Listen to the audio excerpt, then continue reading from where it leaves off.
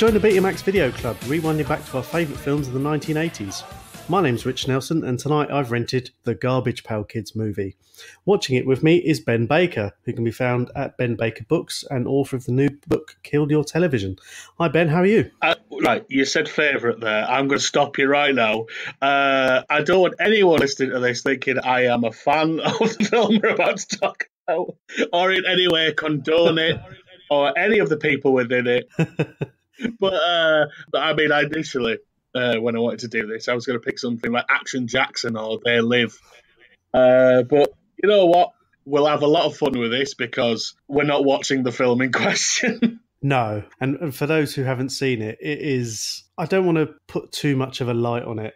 This film regularly pops up on the lists of worst film of all time, and it's very much deserved. It, it is, and it's not why I picked it. In fact, uh, it was a suggestion by a former uh, podcast guest, Tim Worthington. He said we should do this one because he remembers my sheer vitriol about it. And oh, oh boy, it is a film Oh, yes. Now, I suppose to start with, I mean, this came out in 1987. And what I've been doing on some recent pods is saying some of the director's previous efforts in a way of perhaps providing some some level to their CV. The director of this film, it's and now I've only picked out two.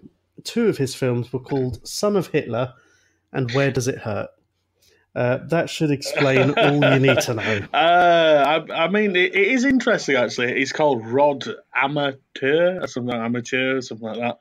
And, and if you if you research him and put TV, you find all these glowing terms because he was a real pioneer in the fifties. He did stuff like uh, Mr. Ed and Lassie and My Mother the Car, admittedly, but you know he did all this interesting stuff apparently. But when it came to films, yeah, not so much. No, and one of the earliest, or one of the first credits for it is um, a Tops chewing gum production. Mm-hmm. Yeah, and obviously this is part of the the history of the Garbage Pail Kids, and that you know they are essentially. Uh, from chewing gum cards, like the old football cigarette cards, yeah. that sort of thing, but on a completely different world to anything else. Yeah, I mean, I'm assuming these sort of things still exist where you get like a couple of cards, one sticker, might be a shiny, you're hoping to get a good one, and a rock hard bit of bubble gum, which literally took out three of your teeth. I, am assuming these are still out in somewhere in like always in corner shops. And and I guess this is one of those films that even now that there has been very muted talk of some sort of reboot because you know we have to find something to plough, don't we? Not while there's breath in my body. and yet, even and this is a worrying thing. Even more well received was a recent documentary called 30 Years of Trash, which was a a fan made documentary about well everything about the film. Really, it was about the cards, yeah. the movie, the reception, everything since. And you know, it's bad when a documentary about a film is more popular than the film itself. I mean, it's it, it was a phenomenon. If you weren't alive in the eighties, I mean, I remember seeing the stickers. Like I had a friend who had the stickers all over his bedroom door, and they used to freak me out because, uh, as you can probably tell from the title, "Garbage Pail Kids" is a parody of Cabbage Patch Kids, which was an even bigger phenomenon of the eighties. Those uh, the dolls you adopted, basically, weren't they? Sort of early, I don't know, Tamagotchi or Pokemon or something Very like low effort Tamagotchi. uh, and yeah, so these these stickers came out with all these, you know, grotesque characters, which were like uh, Adam Bomb and stuff like that. You know, they'd be all terrible puns. And just to make things worse, every sticker would have two names as well. So you'd have mm. like Ian violence, and then it would also be called Steve Murders or something. I mean, that's just off the top of my head. I don't think they're official Tops creations. I can imagine one called like Clive Bastard or something like that. the master of horror. and and the film kind of introduces us early as part of the you know the credits. It actually shows us the cards relating to the characters in the film. So there's seven, and I've got a list of the seven garbage pail kids. Mm. Uh, you've got Greaser Greg, who is basically the worst kind of rip off of an Italian stereotype. It- yeah, he is like the worst. He is a, a thug. I mean, he's not a kid for a start. He's a thug. He has a flick knife, uh, uh, and he's regularly making sexually inappropriate and incredibly violent gestures, as we'll find out throughout the film. Yeah, and he very much is a woman hater, which uh, just to sort of tell you what sort of world we're supposedly inhabiting. I don't I don't think he's got a times up badge on his leather jacket. No, So we've got him, we've got Messy Tessie, who's a young girl who just snots everywhere. yeah, Do you remember Gilbert? uh, Gilbert the Alien from Get Fresh, I do. In fact, I've written about him in my new book, which uh, we'll talk about later on. Windy Winston. I, I, yeah, I, if people are struggling to imagine his power, Um, and bear in mind his card shows a what looks like a mushroom cloud coming out of his arse. Foul Phil, which I think has really bad breath and just goes around calling everyone mummy. yeah, uh, in in the film, he's represented as a baby who goes around asking if people are his mother, and there's no USP to that. I think I think one of the biggest problems which will come up throughout the film is that there were at least about fifty or sixty designs to choose from, and you, the foul Phil I don't think would have been in anyone's top forty nine. You can imagine he's basically a poorly made model of Phil Mitchell. The the next one is Nat Nerd, who's an acne ridden, ginger, bespectacled chap who pisses himself constantly. It should be called Peter Piss Pants.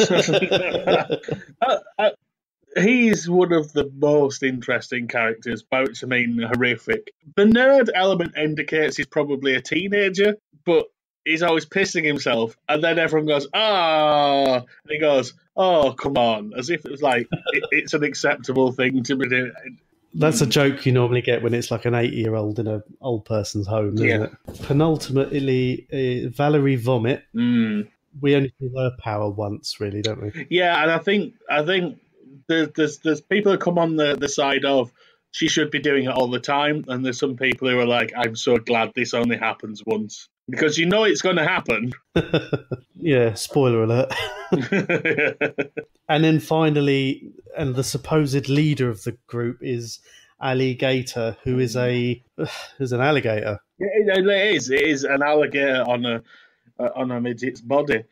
Uh, and Which- I mean, one of the most grotesque things I've ever seen in a film is alligator taking out his lunchbox, which is splattered with blood, covered full of eyeballs and toes.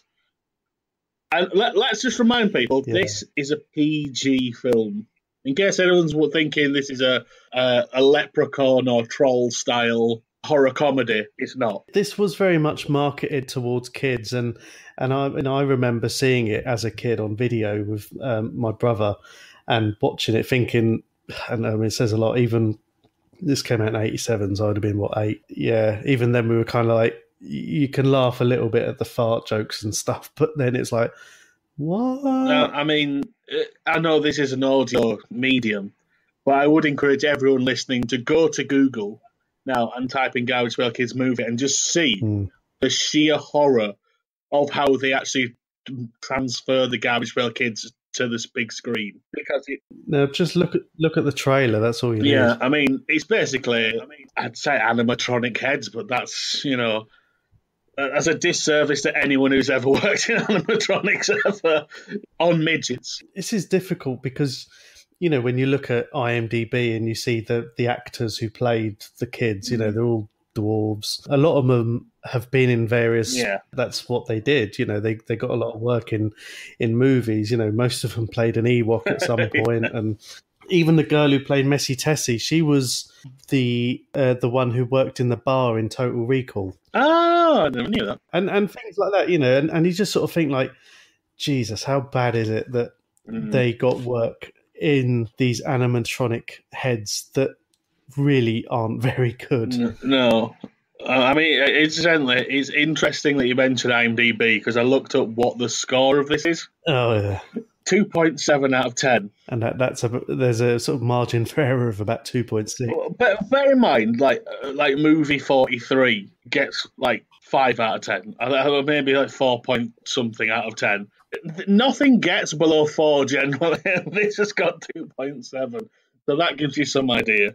It didn't even get nominated for Worst Picture at the Razzies that year. That f- title was won by Leonard Part Six. Yes, well, uh, yes. Uh, let's let's let's move on swiftly from. No, no, no. He's been convicted. It's um. Yeah, but I, I don't want to know what happened in parts one to five. Is the trouble? even Jaws: The Revenge didn't win. Mm. None of these dwarf actors were nominated in the best or worst actor. I didn't know the Razzies was actually a thing back then. I didn't know it went back that far. Yeah, I mean, bear in mind, one of the nominees for worst actor that year was Bruce the Shark from Jaws: The Revenge. it did, however, if I can find it, it did win an award for um, uh, the worst song. This is just an example. Really? Uh, I mean, I think we, we will get to that, but there are several. Well, there's at least one song in it and several musical cues, but it's not a musical. it's not. I think it.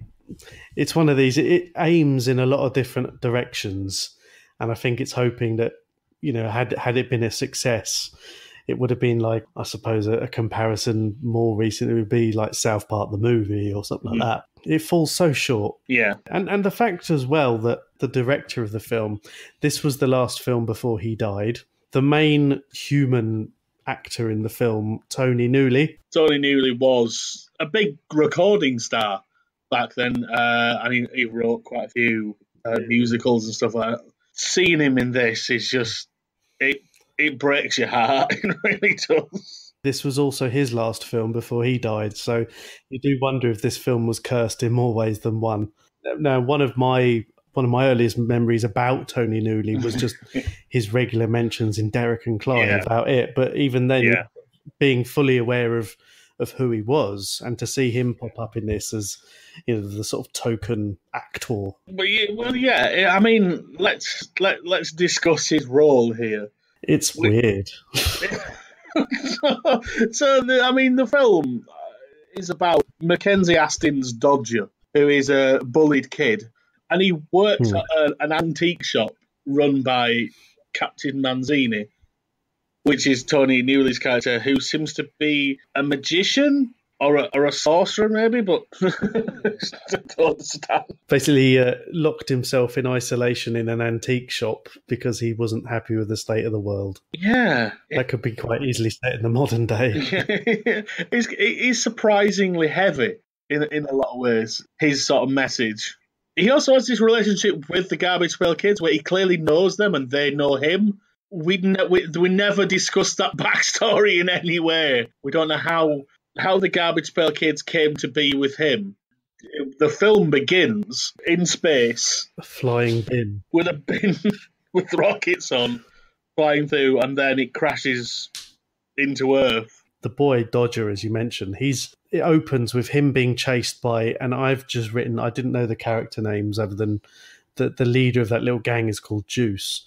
So he's being chased by Juice's goon and woman who needs a sports bra she, she's going to have a bad back.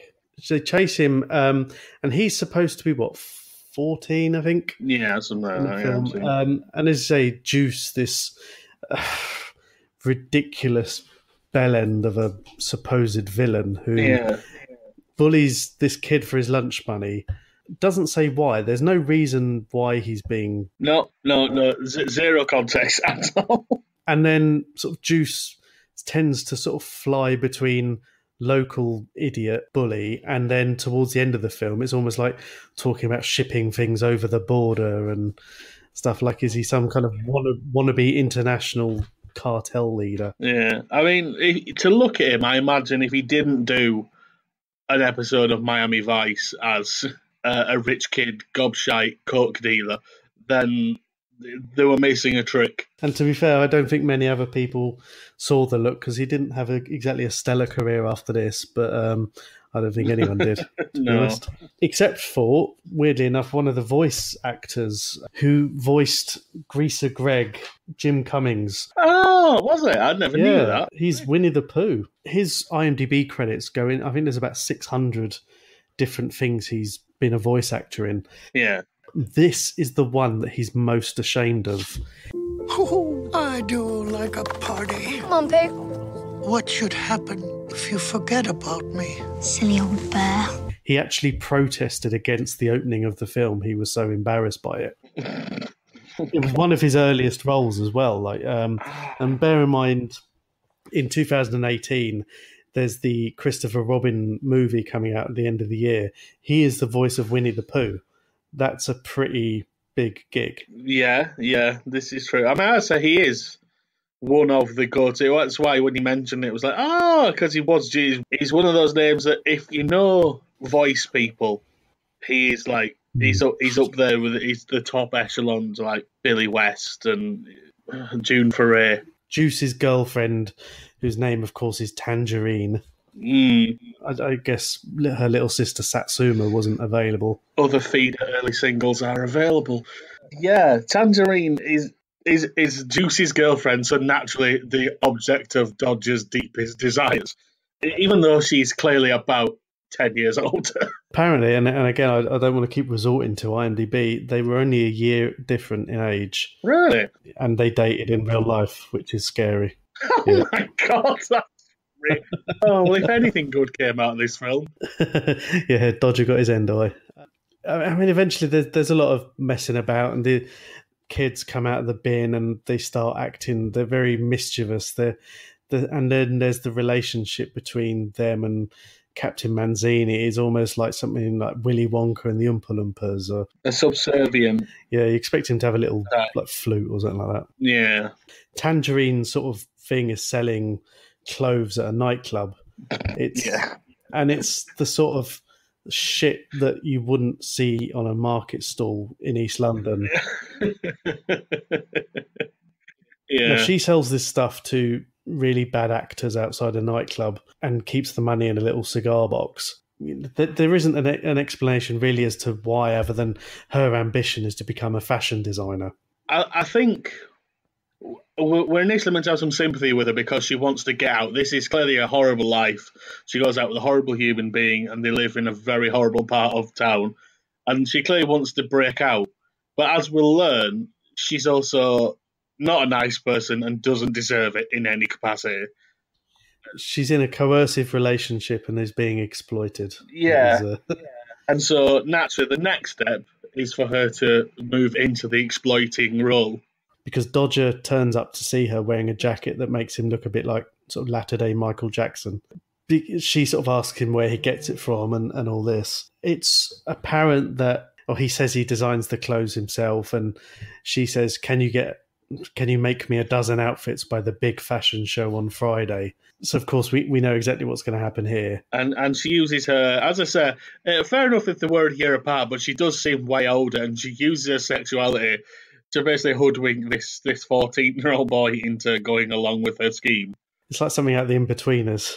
it is. I think at one point he uh, was it when she visited the shop and he sniffed her and just made him look like a really. Yes, he smells her hair for some reason. it's just like that's are we. Uh, you're the hero, mm. but weirdly, and, and maybe Juice wasn't all bad because he he only ever referred to him by the name of Creep. So yeah, it wasn't wasn't wrong there anyway. No, maybe maybe he had some intel that we don't see on screen. He was actually helping the uh, the neighborhood from this weird kid who spends all his time with an old fella in a dusty old shop, where within the plot of the film he gets bathed twice. oh, he does, doesn't he? Yeah. Yeah. Uh, I mean, in, in one particular situation, he's get bass because uh, Juice and the bullies drag him into a sewer and and, and, and turn uh, a thing and cover him in human shit. There's no getting past that. They he goes. He like nods to the sewer, and they instantly know as, as one like this is what we do. We grab the kids, we we we we bring them into the sewer, pour the human shit on them. Uh, uh, profit.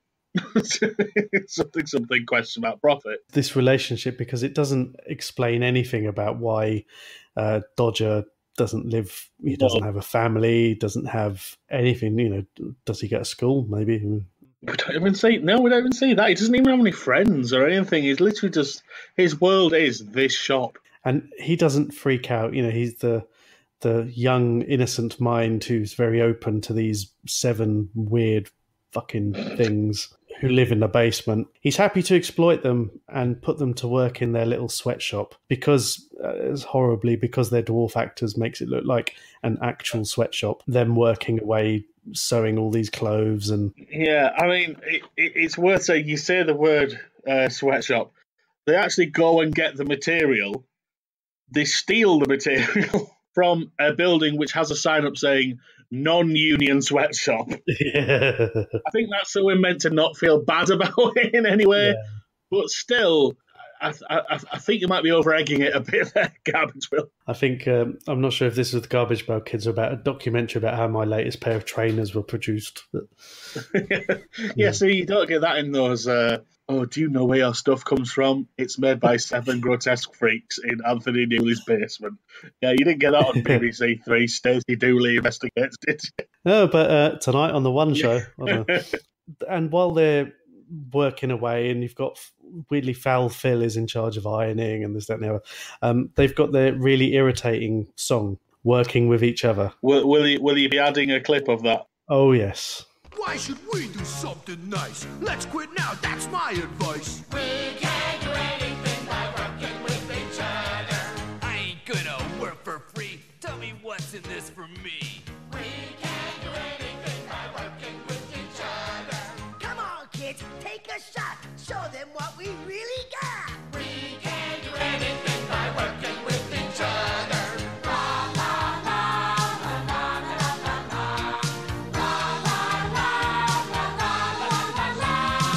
And, and the weird thing is that isn't the song which was nominated, is it, as the worst song? Because that's the "You Can Be a Garbage Pail Kid" Super yeah. If you're three foot six, but in in this. Because they finished what they're doing really well making the clothes, they decide that they need to have a night out, uh, let off some steam. So, um, you know, because because of what they are, they can't just go out like themselves, can they? No, no. So naturally, uh, the the outfit is the standard outfit for anyone trying to look inconspicuous, which is berets and long brown coats. They look like French art students. I, I believe Valerie Vomit says they should go and see a movie picture, which makes you wonder how long they've been in that bloody. well, we, we know already they're not kids. If Greaser Greg is probably pushing forty, but they go to the cinema and they see they sneak round the back. Um, they go and see one of the Three Stooges films. Uh, but as soon as they get into the cinema, they become the most obnoxious people in the world. They steal food, they push people out of their seat. It's reminiscent of my local Cineworld. Little short bastards running around chucking this, that, and the other. And although some of it got a bit gropey at one point. Yeah, oh yeah, there is also a lot of un- unnecessary touching, un- un- unrequested touching, which uh, is immediately foul. Like foul Phil goes, "Oh, I was just checking to see if you were my mum." He, he, he was in 1987. Not cool, dude. Not cool. you got Messy Tessie who walks in and sneezes into an oversized bag of popcorn and it goes everywhere. Yeah, I'm, I'm not entirely sure how that one works, particularly. not all the kids go to the cinema. No, they don't, because um, a couple managed to uh, make their way off for a, a quick drink. There's a biker bar, naturally, as you'd assume in a kid's property, such as this. And alligator, who we've established at this point, eats toes and has a mania for eating toes, continues to eat toes despite the fact it will get him in serious trouble. Guess what happens when he goes in the biker bar? He goes into a biker bar and finds the only biker who wears sandals. Which, I di- again, I didn't think was necessarily a thing that went hand in hand. a rumble in shoes, we say. it's Ali and Windy. They're on a little like quad bike sort of thing, aren't they? Um, and they have some mechanical issues, and the bar is called the toughest bar in the world. Oh yeah, yeah, that is a like non-union sweatshop. It is does it is a Ronseal name. Just to ram it home, just in case you were thinking, "Oh, is this, is this a nice wine bar or something like that?" It's like when you got the Beano and you'd have like El Restaurant de Poche. Unfortunately, the Beano is still a million times more sophisticated than this film. It is, it is indeed. Uh, it does make you wonder why yeah, the Street Kids have how uh, the Garbage Pail Kids have had a film, but the Street Kids are still waiting. Come on, Spielberg's, make it happen. Let's let's start a petition. Yeah, come on, Tom Hiddleston has spotted. It's already, it's writing itself. it's writing itself. There, because Ali starts all these these fights, and then uh, Windy breaks in breaks in. Um, is it like something out of like a Liam Neeson film? Sort of takes on all comers. I, have a specific set of skills. I mean, to me, one skill: farting unpleasantly in public places. but I will find you. I will shit myself. It will be horrific. I, I will fart so hard your baseball cap flies off. Not taken, more breaking. Brackets wind. God. No, no, no. Move on. Oh, I, I'm sure someone could knock that up on Photoshop or something. Yeah, do you know what? It would probably still be more entertaining than anything in this film. Juice and his gang, for some reason, are on the roof opposite. So as they come home from their night out and he sees them all, uh, one of the things that we have in the background is that there were a lot of other garbage pail kids, of which there are only seven. Yeah, it's it does imply like the entire range of garbage pail kids from the cards crash landed to Earth, and the the kids are checking bins to see if they're in there, as if you know, like they just wait, but. But also, they could be in there because I mean, the way the kids get out in the first place is that the pail which has been in Manzini's shop spills over and some ooze comes out, and it's never explained whether that ooze is the kids or there's some metamorphosis process. It, it's all very, very strange. On top of the oddness already, uh, and as you said, they are looking for Yeah. their friends. Maybe this was a setup for some kind of uh, garbage pail kids extended universe. Juice is a shit. Tangerine lets him be a shit. The two bullies are just bullies, and Dodge is a horny fourteen-year-old.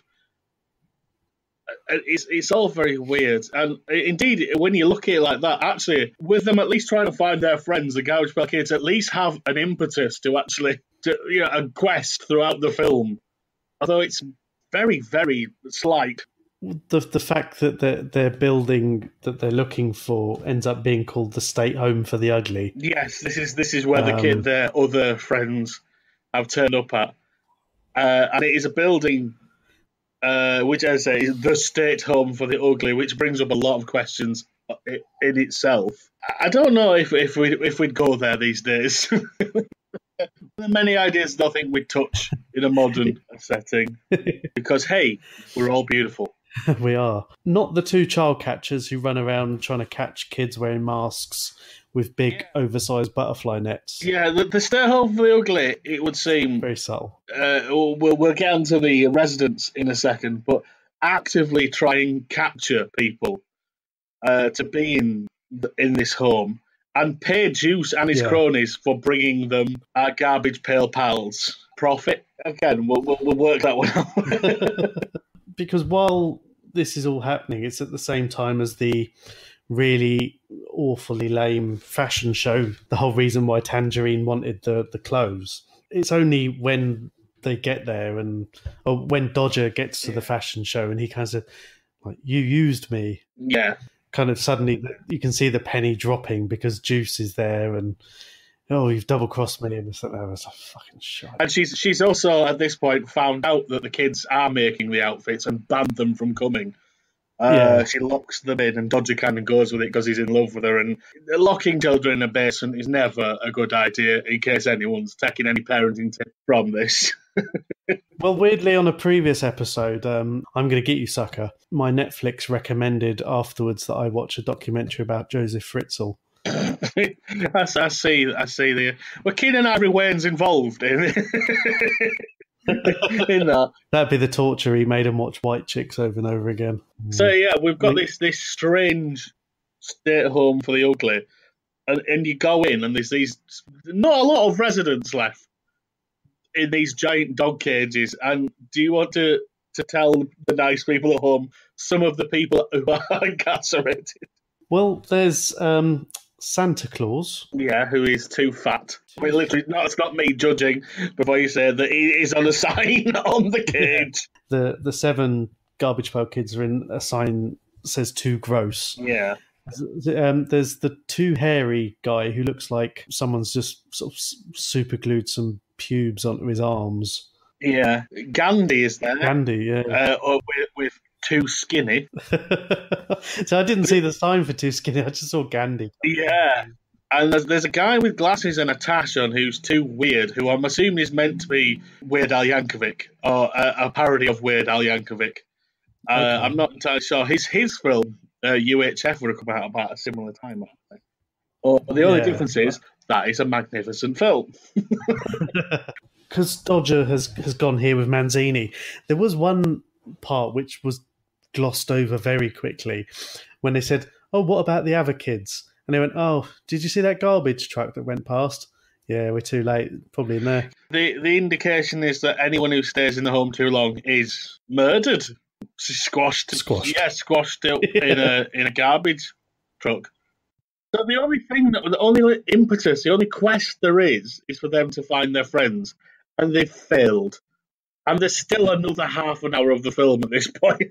so you, uh, I imagine if you were a kid who was really into the range at the time, you'd have been like, "Oh, the other kids, yeah, they're gonna get the other kids, yeah, yeah. Oh, they're dead." Maybe there was a version of the toys somewhere where they were just completely flat. Yeah. Is uh, Manzini and Dodger, as you say, find the stay home for the ugly. It's like, oh, there could be in there this giant four-body building, which is like, like it seems to be about four blocks away, and, and looks like nothing else in the urban environment. Like, could they be in there? Just remembered another one in the stay at home for the ugly, which people will get upset if, if I don't mention this before we carry on. Someone is too crippled. Oh fucking hell! I didn't even notice. Just let that sink in. Uh, this was the eighties. Were things that bad? No. I think we've already covered that. The Garbage Pail Kids, Dodger, and Manzini go back to the fashion show. I'm not sure if it's to reclaim their clothes or just to get the upper hand on Juice, this, that, and the other. Well, well I mean, let, let's not uh, miss the fact that they get out of jail because their pals, the bikers, return Oh yeah, of course. to help them. Because in, in the rumble, of course, they all go, "These guys got spirit. Bah, bah, bah. Have a booze drink on me and as many toes as you want to eat." Uh, so the bikers are now on side, so they do help break them out and rush them on these ATVs that just seem to keep appearing for some reason. I'm assuming they've been stolen, obviously, but from where? Al- Alan's ATVs across the road is not pictured. There's no. You, you have to fill in a lot of lines yourself here. But yeah, as you said, they get to the fashion show. Well, we did see earlier where um, a couple of the kids stole a Pepsi van. They steal a lot of things in this film. Yeah, they're um, they're not good kids. Maybe now, like so many, you could go back and solve a lot of the, these freakish problems that people supposedly had with just modern advances in medicine. Perhaps um, Windy Winston, he's got his problems, his IBS, because he's uh, maybe gluten intolerant or something like that. If he switched to a better, better diet, Yeah, I mean, I don't think there's really uh, helping alligator because his face is that of an alligator. Foul, foul Phil might might help. Messy Tessie might get something to clear up her uh, sinus problems. You know, who knows? yeah, maybe, maybe Foul Phil just need, he just needs a nice foster parent. Just put it in that bin with the rest of the ones that got mashed up because he's hideous. He is. And back to the fashion show. They've all turned up. This is where Juice is on the phone to someone talking about shipping things over the border to Mexico and, and this, that, and the other. Um, they start invading the stage. And this is where it turns into something like a Benny Hill sketch. Mm. Because, of course, to get their clothes back, they have to rip them off the models. Yes. Who who the models are entirely blameless in this. They've been hired and hmm. so while they're getting prepared, Tangerine is a massive bitch to them. like insulting their hair, their look, you know, everything about them. And then they finally get on stage to show off these clothes and these things. you would be in therapy for years. Imagine being stripped to your underwear by Greaser Greg. That's like one of the things from that Gok Wan show where the How to Look Good Naked or something, where they all turn up and do a fashion show in, in a Debenhams in a municipal shopping centre. It should, it should be called How to Look Good in a Big Burning Bin. This is where um, we finally see Valerie vomiting. yes. She gets it over the the two goons, whatever their names are. No, no, no one cares. Co- Cooper Trooper and it's irrelevant. They are the classic movie goons. I mean, the, the, in many ways, the seventies throwbacks Yeah, to the to films that always had these kind of flick knife wielding idiots. And, and it goes a lot as far as that one of the goons is the director's son.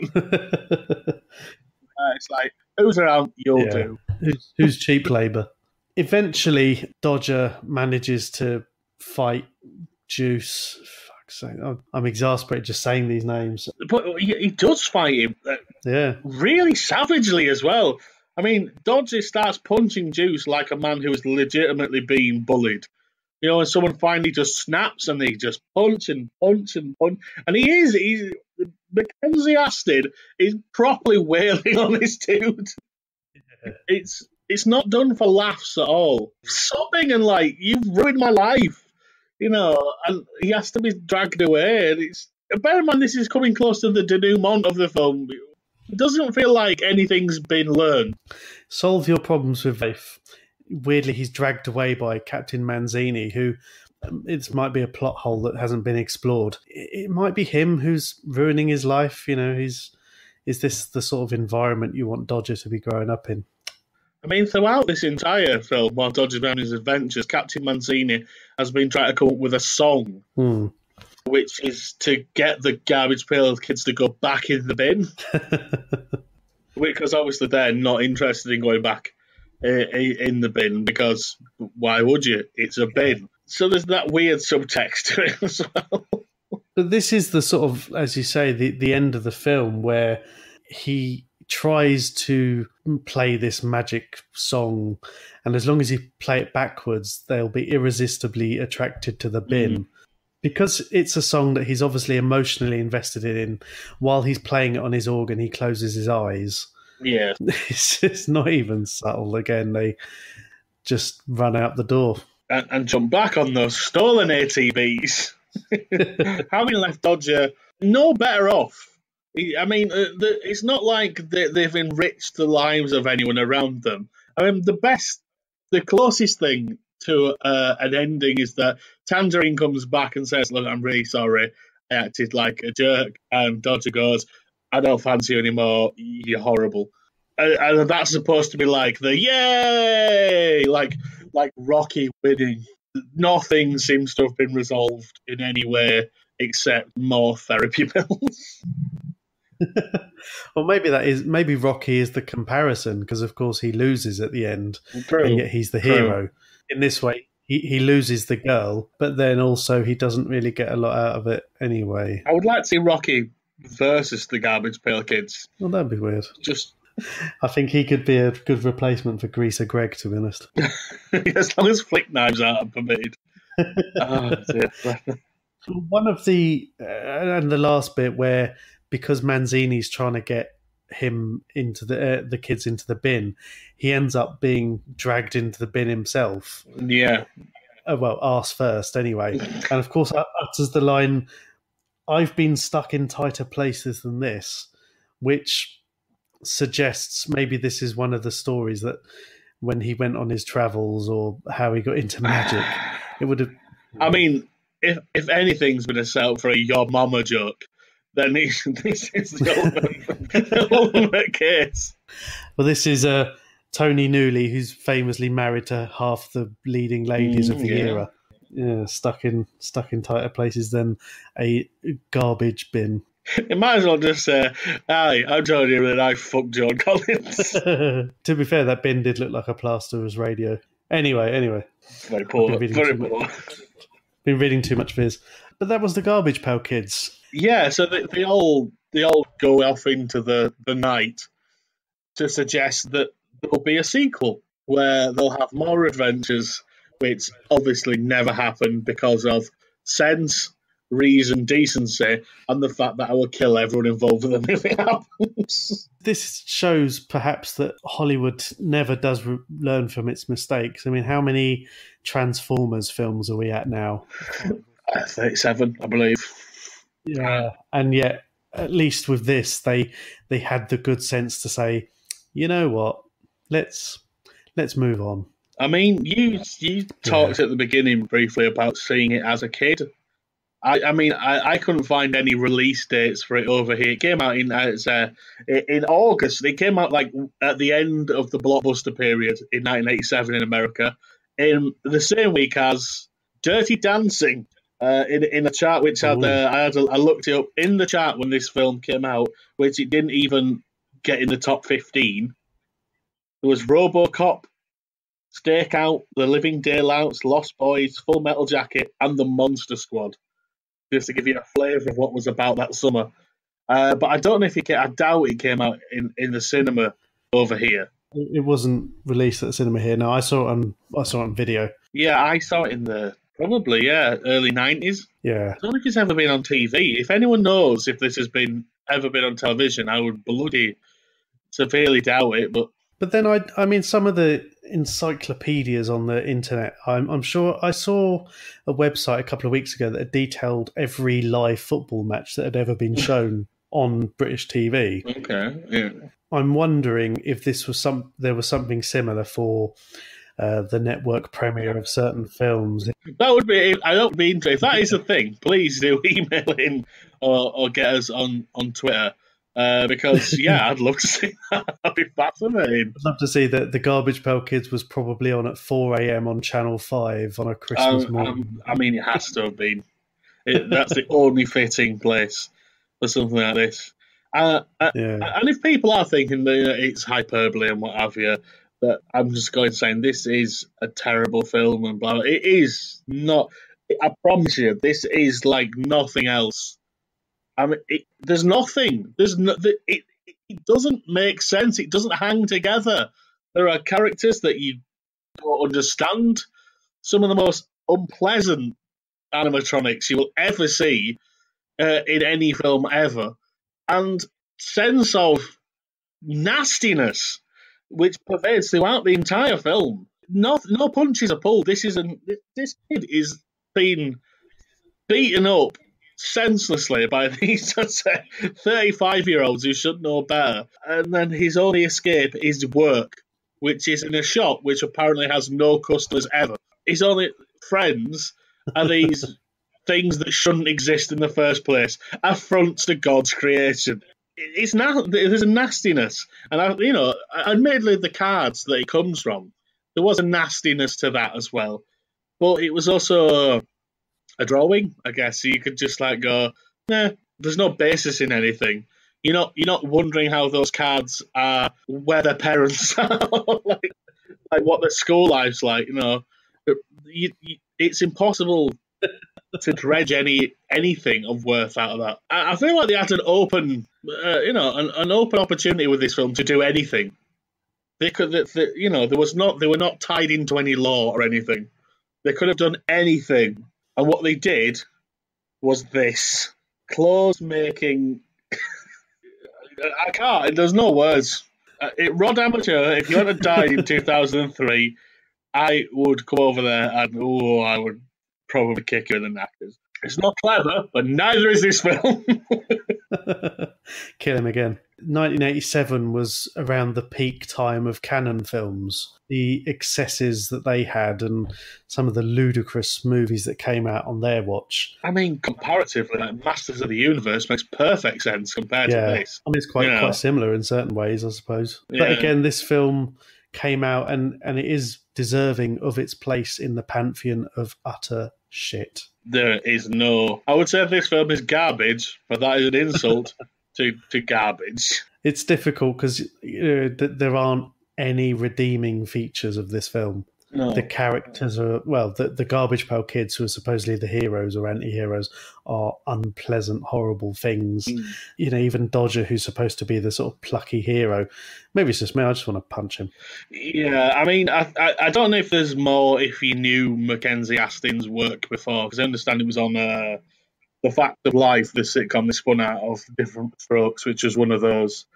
Uh, it was set in a girls' school. I remember Sky showing it a lot in in the early days of us having satellite, and it was garbage, just just sheer rubbish. But it, at least he was loved, so maybe he had a fan base. Maybe. It's Sean Astin's stepbrother. So, you know, he, he had something going for him there. I understand he's still doing something. I understand he's still working. Well, as long, long as he's got a job doing something, is I suspect he has a good sense of humour about this film, which you'd have to. You know, you, you really would. I mean, uh, it is a film which uh, it has it has. I mean, the title, uh, the post of this is "Out of the garbage pail and into your heart," which is of course should be out of the bin and into another fucking bin. that bin is being padlocked and set on fire. That fire will not be put out because this will be kicked into a well. with the Masters of the Universe episode that I did, there was a documentary about the making and, and the sort of cultural reverence of that film, and I, I and how I really wanted to see that. And again, I kind of want to see the documentary about this. Yeah. And it was guys at Sudden Double Deep who recommended it. Um, and I need to try and get hold of a copy. Yeah, I, I, I really fancy watching that as well because it is a phenomenon. Because I've got a copy, uh, I'm, I'm sure fully legal download of the film, and um, my, my laptop started developing issues after I downloaded it. So uh, perhaps there is a, there is a curse there. it's literally slimed. Uh, it's like slime started coming out of the side. Slimed from the inside. Shall we move on to a, a more pleasing topic? You've got a new book out called "Kill Your Television." I do. Um, I do. tell yeah. us, uh, tell us a little bit about that. Uh, well, it's collecting on my writing on TV stuff. Uh, I, I've been writing on and off like 15 years or so, and this is kind of my favourite thing that I've written, and a lot of new stuff as well combined. It's it's stuff that you can't get anywhere else. Uh, which is a follow up to a book I did called Festive Double Issue, which is my look at 40 years of Christmas TV schedules in the UK. There's always a fascination, I think, that people of our generation have with remembering old TV, and there's there's certainly a lot of retro stuff in there, like uh, Alligator's close cousin Doc Croc is is featured. Do you remember Round the Bend? Yeah, Uh, it's an ITV CITV sitcom by the Spitting Image team. Uh, that I go into that in some detail. There's, uh, there's there's an article about the. I tried to work out which TV themes have been the biggest hit singles, which is really surprisingly hard. But but needless to say, Simon Cowell has his dirty paws all over that. not Zig and Zag, is it? It's not Zig and Zag, no. It is. Uh, it's spoilers. It's the Teletubbies. Ah, God. Well, um, your book's available on uh, Amazon Kindle, and where where else can people get it? Uh, benbakerbooks.co.uk is where the print ones are sold.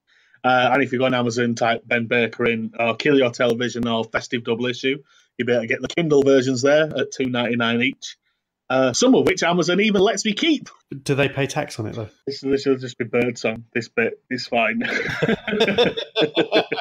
Well, Ben, as we've um, as we mentioned earlier, um, you're going to be back in the future to talk about the uh, Carl Weathers masterpiece, Action Jackson. you know what? I think Um, I probably may at some point. Uh, give me a few months to uh, wash the stink off of.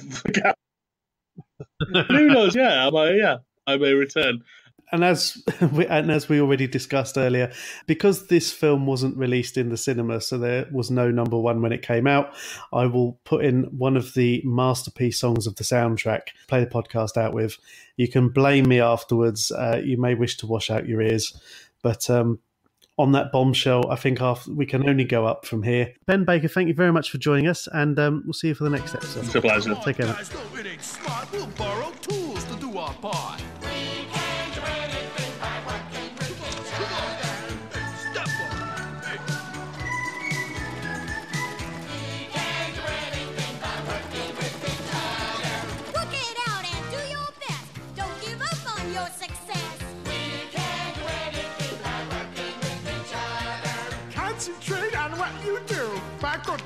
It's up to you. We can do anything by working with each other. We can do anything by working with each other. This podcast is part of Britpod Scene, an independent network of uniquely British podcasts that's always growing. Check out BritpodScene.com or BritpodScene on Twitter to find out more.